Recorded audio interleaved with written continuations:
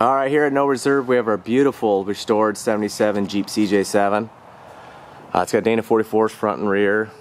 All the brakes were gone through front and rear. Uh, the body was taken off the frame. It was completely Line-Xed and the wheel wells underneath, the underside of the floorboards, uh, the inner fenders of the front fenders and uh, on the inside inner fenders and the outer underside have been uh, completely Line-Xed. The core support uh, all the drive lines have been redone by Drivelines Northwest. Uh, we just had it aligned and everything checked out perfectly. Uh, Turbo 350.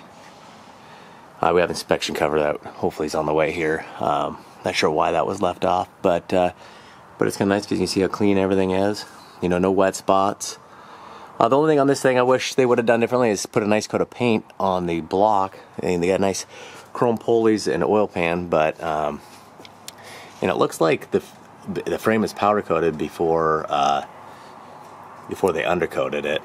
Uh, there's also spots uh, where I took a picture of the uh, frame number, the serial number on the back here, and you can see it's all nice and shiny when I chipped away the undercoating. Exhaust has been replaced; it's all welded in. You can see the rear wheel cylinders were done. I mean the Underside just super clean, all new hardware. You see the brake pads are like new. Brake lines are replaced. The hubs turn nice and easy. They've been replaced. This Jeep's pretty much ready to go. Um, the redhead steering box. All your bump stops have been replaced. You know, it's got some miles on it. Uh, some from us, for sure. Uh, we've been driving it, enjoying it. Uh, it's kind of top down weather now, so um, we put some miles on it. The kids love this thing. It's it's one of the nicest Jeeps I've ever seen. It's just got that right look and stance. 33s with the 10 inch wheels. Uh, you can see they're like new. You know, it's always nice to have a matching set. It kind of always, you know, brings it to the next level on a Bronco or Scout or Jeep.